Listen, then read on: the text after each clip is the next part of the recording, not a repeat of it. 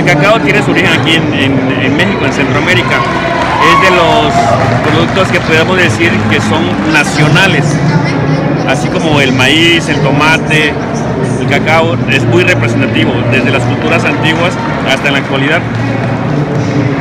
Este, Tabasco es el principal productor de cacao a nivel nacional.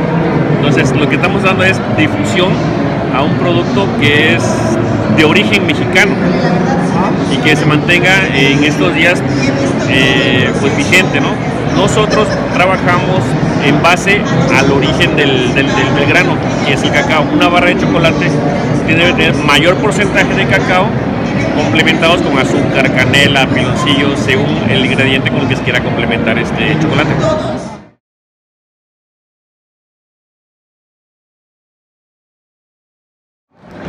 Sí somos chocolateros, totalmente somos chocolateros de, origen.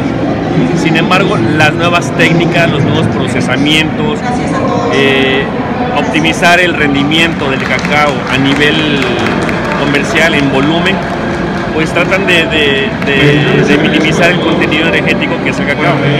Entonces, hoy en día, hoy en día eso ha sido un problema a nivel nacional y mundial. ¿cuál es la, la causa? Falta de difusión, falta compromiso con los productores, falta compromiso con el, comerciante. Así evitaremos también que los costos se vayan arriba y que tenga el beneficio no sea el productor. Estamos buscando darle difusión a un producto de origen mexicano.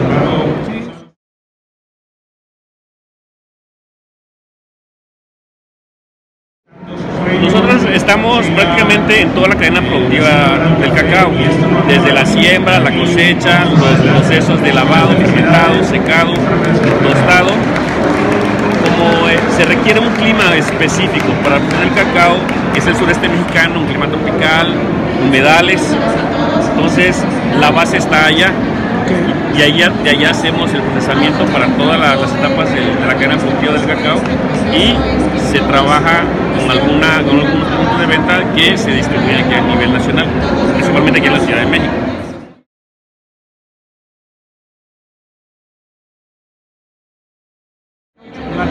De hecho, nosotros no utilizamos el nombre de chocolate porque está a base de cacao. Nuestro producto es el cacao porcentaje de, dulzante o de algún complemento. Entonces le llamamos chocolate porque es la combinación, pero realmente es cacao. Entonces nuestra marca es, se llama Es Cacao.